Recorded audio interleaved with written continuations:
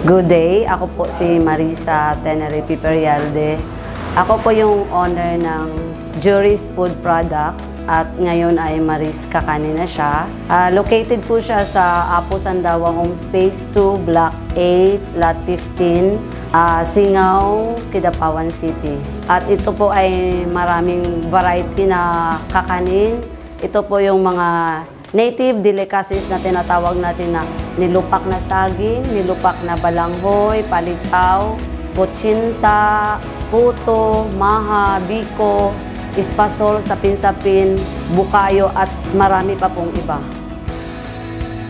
Before, I'm using manual, ano no, manual equipments, yung mga steamer lang siya na makaproduce lang ko gamay lang, 100 to siguro pinakadaghan na siya ang 200. In spite po sa kakulangan namin sa gamit, ah, nag-increase pa rin yung demand ng customer.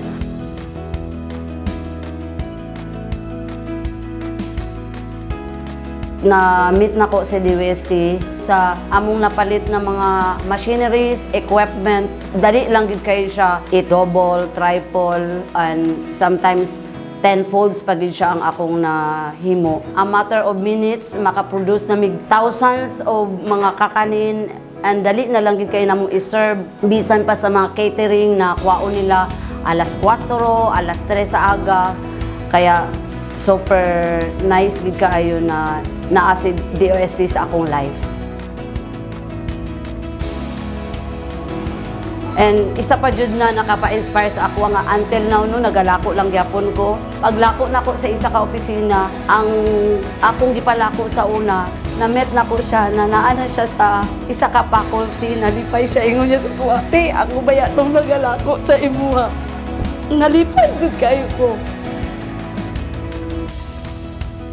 Uh, I'm happy now. Isa ko sa 7th Lumina Awards last May na na-award sa Manila and I'm happy sa akong nadawat na award tungod sa DOST. Uh, it's a great privilege na ako na na-achieve sa akong life.